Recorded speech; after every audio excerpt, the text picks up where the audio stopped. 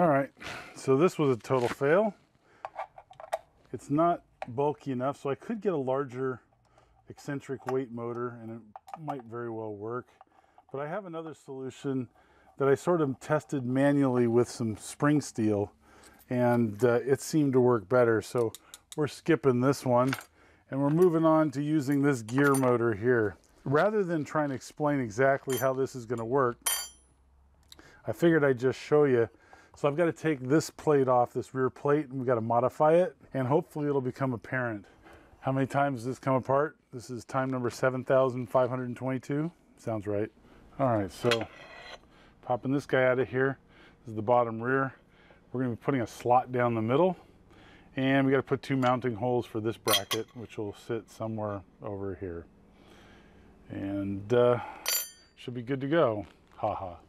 All right, so here we are. We got the back plate off. We're going to drill the motor mounts first. Uh, we're going to drill and countersink these two holes for some low profile uh, hex head screws. And uh, motor mounts, like I said. Then we're going to drill through drill two more for the spring steel that will hold a piece that is going to basically disturb the stack. And that's a way to try it. It's going to bump the stack. Uh, vibration wasn't significant enough, so now we're going to use uh, a geared down motor with a lot of torque to just bump the stack. It, you'll see there's going to be an eccentric cam. It's probably harder to explain than it is just to show you.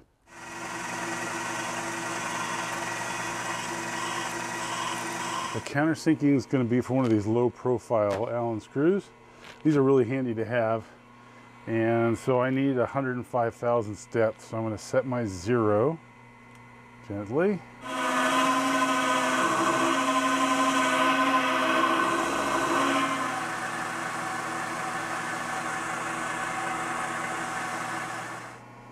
Okay, just double checking. Next two holes are where the slot's gonna go that's gonna hold the spring steel.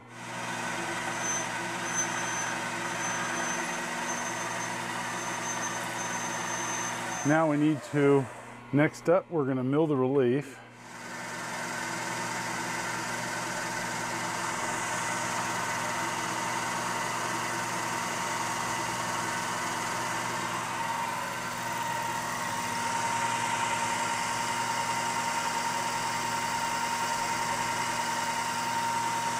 Reason I'm cutting this relief here, 110 thousandths, is that the spring steel and the low profile screw heads need to fit below this surface. Otherwise the needles could catch on them when they're sliding down.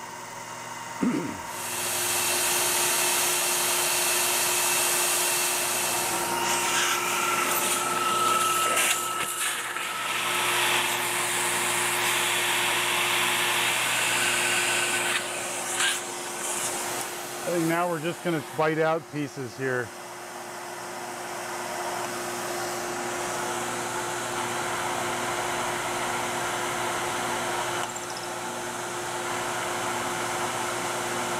I'm afraid I'm going to be weakening this kind of uh, a lot and it may fold in on itself, which is unfortunate. This may have needed further support.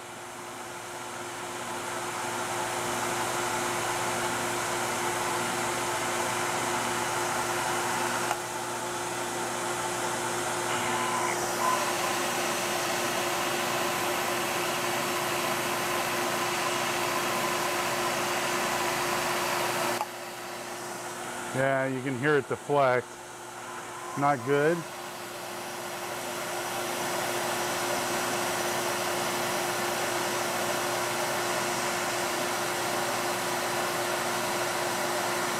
If I had known everything that was going to be put on this back piece, which originally was just supposed to be a funnel, I would have made a thicker material. I didn't realize I was going to mount so much to it. All right. Clean up the sides.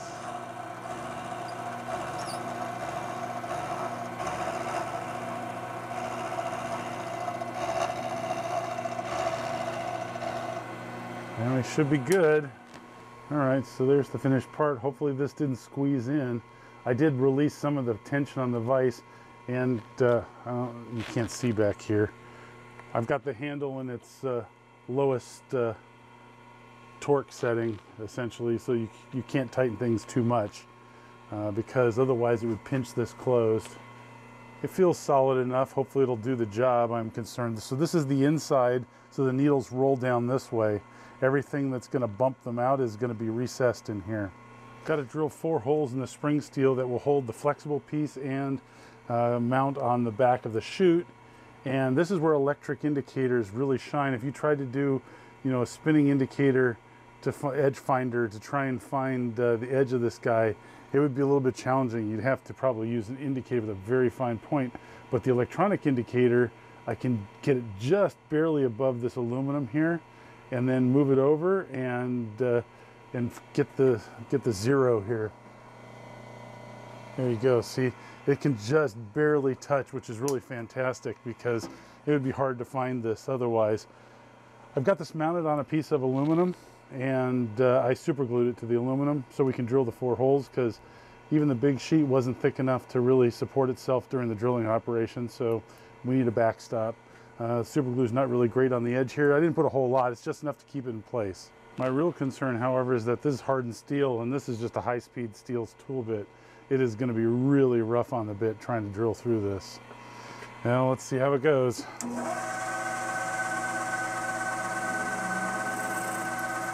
Ah, well, it drilled through it, but uh, popped the super glue off. That's unfortunate. Fortunately, this isn't a super high precision uh, drilling operation as far as location of the holes. Uh, there is some slop. So what I did was I drilled deeper in the aluminum, pushed the drill bit down to find the center and then lined up the edge again to a very rough approximation. And uh, then what I'm gonna do is I'm just gonna throw a clamp here right on the end.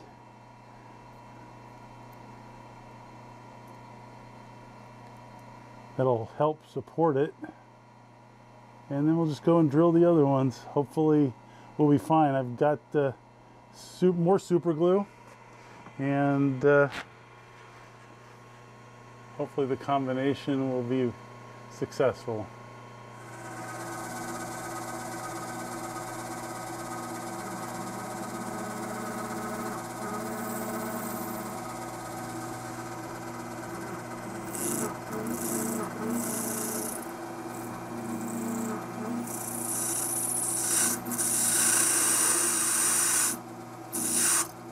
Yep, drill bit's dull. It only took four holes to wipe the drill bit out, at least its sharpness. All right, deburred this over the Scotch-Brite wheel. Took some of that beautiful bluing off, but uh, I think we'll be good to go here. The holes look pretty reasonable. I had to use the Scotch-Brite to deburr this. It was very hard and uh, just took the corner of the wheel and it did a nice job.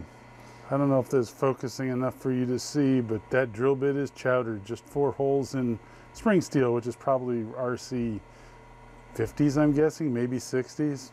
Uh, yeah, didn't like it. Got a piece of 304 stainless here, and I'm going to be cutting off a relief, or cutting down a relief, 115 thousandths. I had it 110, but I want to give myself a little more coverage, uh, a little more uh, clearance, so that uh, there's no chance that the needles would bump against this, because that would be problematic in and of itself. So we're just going to take it in an inch, and we're going to take it down the 115 thousandths.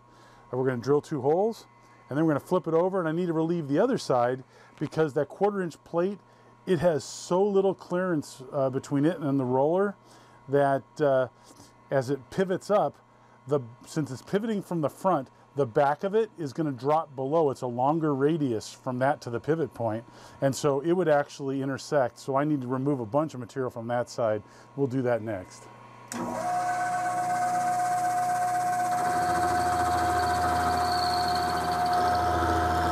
Just taking a little bite.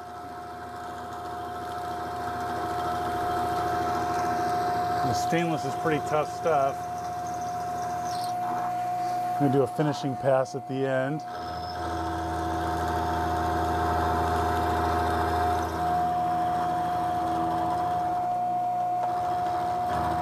And that's it for this bit. Drill two holes for mounting the spring steel. So the spring steel is going to go flat on here, and then the screw heads, the low profile screw heads also have to fit below this uh, relief, or fit in this relief, I guess.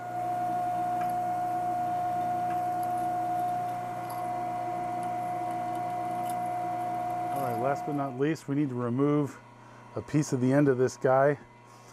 Uh, that'll only need to push a needle but I need to relieve it enough so that the back part of it, as it rotates, since its pivot point is on the front, uh, the rear follows a longer arc, which means it, it will run into the uh, rotary shaft.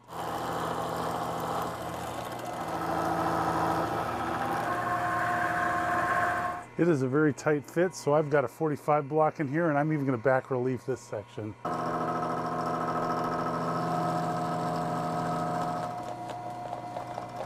Alrighty, I think that'll do.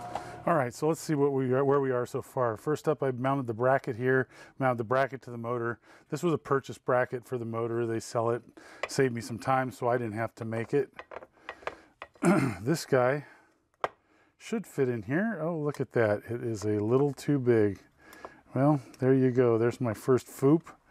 I guess I'm going to have to take this over and remove just a little bit of material. Be right back. Okay, just a tiny bit of adjustment and we have a good fit. That looks like it's below the surface, which is very important. We're just rough fitting right now just to see where we're at. I'm hoping this is uh, stiff enough spring steel to do what I need it to do because I'm counting on that. This is uh, 14 thousandths thick, I think.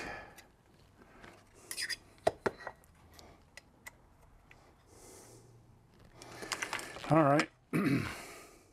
now this guy mounts right in here and oh, look at that. It's a little, it's a little thick. I think what happened was this got pinched together. Oh yeah. So we're gonna have to clean that up before this is gonna work. So this is supposed to be flush here and basically we're gonna be doing one of these kind of things. It's gonna pop out and just move the needles at the bottom towards the inside. That's all it's gonna do but I got to make sure it doesn't stick. So we got to clean up the sides here. Alrighty, we just sanded up the sides a little bit on the belt sander that I made. Did a wonderful job. And this looks like it's gonna fit very nicely. Uh, these thread in actually, because that's threaded holes. I could have made those through holes as well. Here's the progress so far. So we got spring steel down here. These are below the surface, so the needles won't touch them. Uh, this I beveled just a little bit in case it stuck out at all uh, so that the needles wouldn't uh, stop on that either because I don't want any ledges.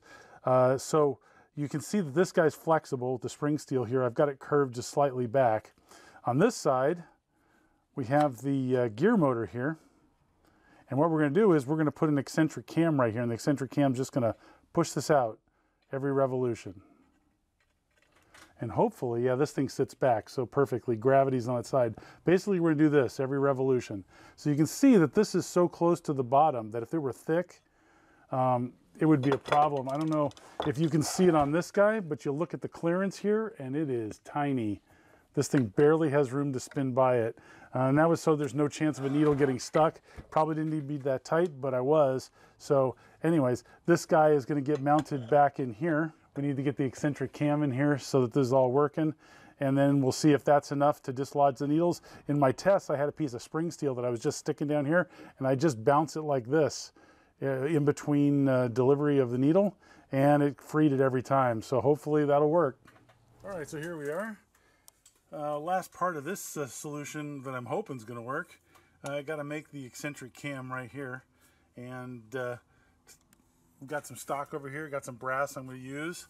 And uh, to measure this guy here, I popped this guy in here to keep the front of this piece coplanar with the front of this chute. And then I stuck an adjustable parallel right here and I measured this distance and then I added 50 thousandths for one side and 50 thousandths for the other side.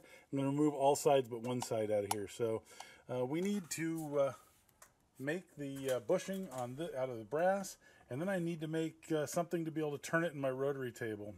Uh, it's always lots of work, right? and hopefully this works and it's not a fail. I'm really counting. Alrighty, so of course, I want to face this guy first.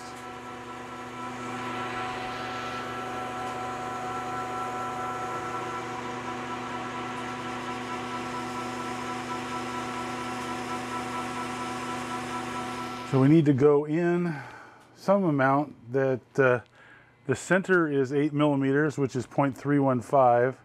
So, I don't know. We could shoot for like 3 quarters of an inch. The actual size, again, not terribly important. I wonder if I could just take this whole bite at one time. That'd be kind of crazy, wouldn't it? I'm going to try.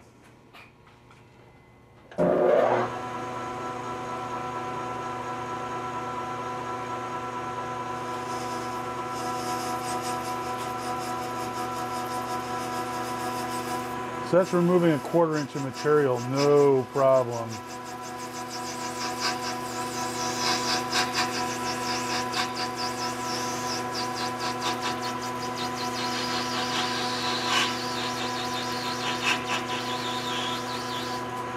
I guess that looks about right.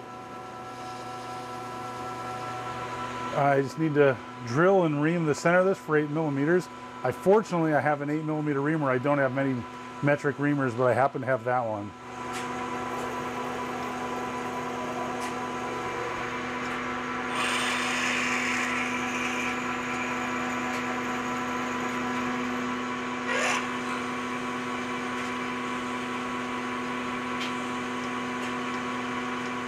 They always say parting is such sweet sorrow, but to be honest, I find it kind of exciting.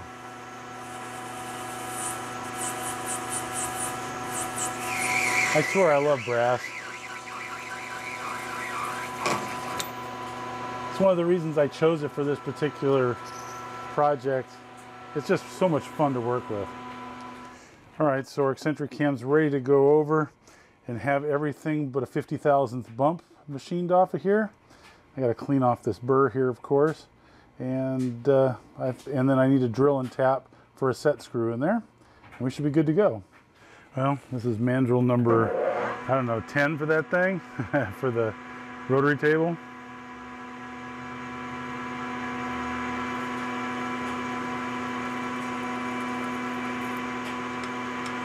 So this side is going to be drill and tapped 3 8 24 to meet up with this guy. This is a Morse taper. This is a Morse taper three, I think, or two, I can't remember, three? Three, that fits down the center of the rotary table. And uh, you can thread a mandrel on top. It's been ground flat, as you can see. And so we need to thread in this far for this guy. And on the other side, we need to have a uh, little nub that's sticking out, eight millimeters, uh, that will be drilled and tapped down the center to hold a flange that will hold the part down. And that's it, that's pretty much it. There's not a lot to this part thing here. We need to get the eight millimeter part pretty close to accurate.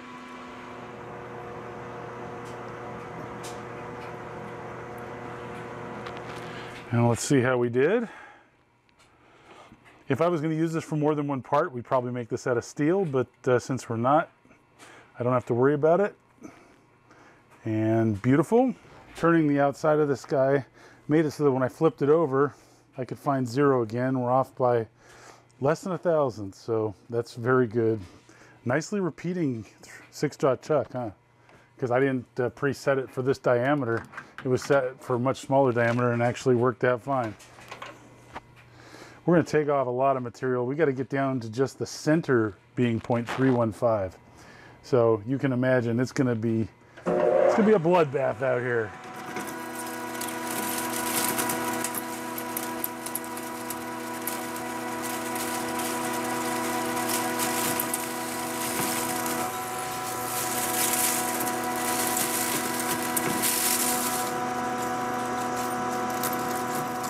Pretty nice tool for scooping off lots of material quickly. I really like it. Uh, the tip's a bit fragile, but these are Asian import uh, uh, inserts on it. So I bet you if you had Kennametal or Sandvik, uh, they do much better, or Iscar, one of the big guys. This is a DKJNR, and then 2525 is 25 millimeter uh, M16. Um, I saw Abom use one of these once upon a time. I thought, oh man, I need to find one of these. So I found this one used and uh, found some uh, Asian inserts, and it's great. Again, the insert tip's a little fragile if it's a hard material like steel, but an aluminum scoops it like butter.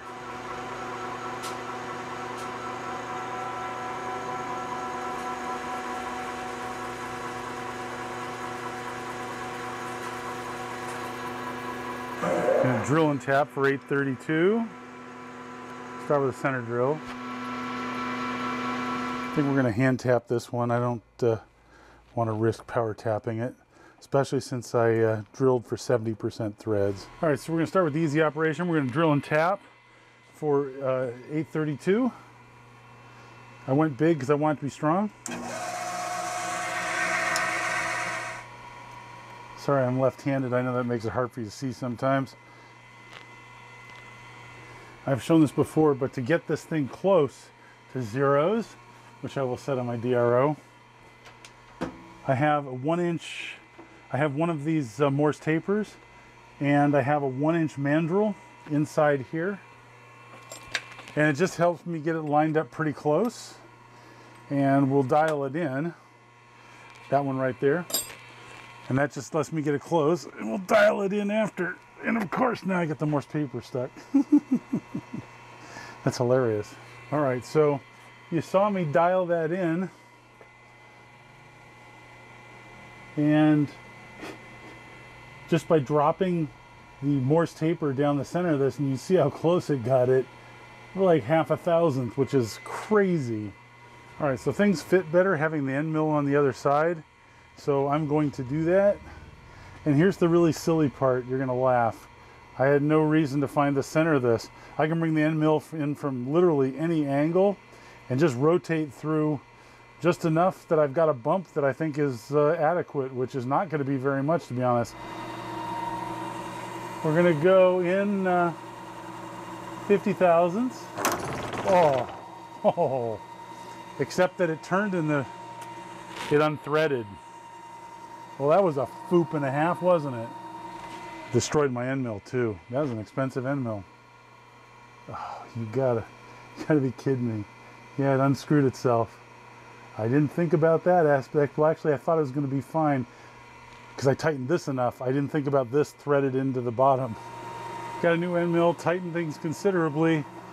Although I'm not sure it's still gonna, still not gonna work. Put a little friction on this guy here.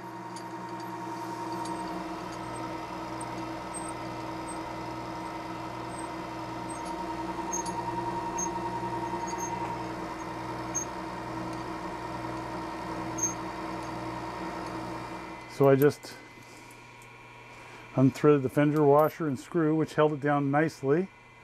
Here's my part. It can get damaged, fortunately. There's the eccentric uh, portion of it. Hopefully that'll be smooth enough. It feels like it. I'm going to deburr this edge kind of sharp and uh, we'll go head over and try it out. All right, so I'm going to pop this guy on here and you can see there's a flat in the D right here. So I'm going to get that set screw lined up with that flat. There we go. I just need to move the motor this way a little bit. I mean, it doesn't really need to be centered on this, but uh, why not, right? So now let's see how much deflection we get.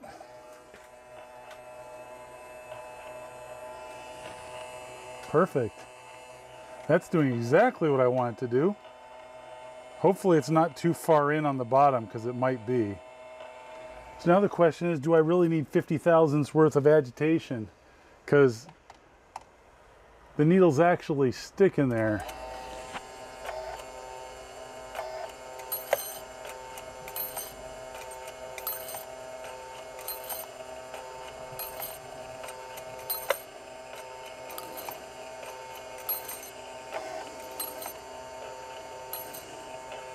That worked perfectly every single time, so that solved my problem.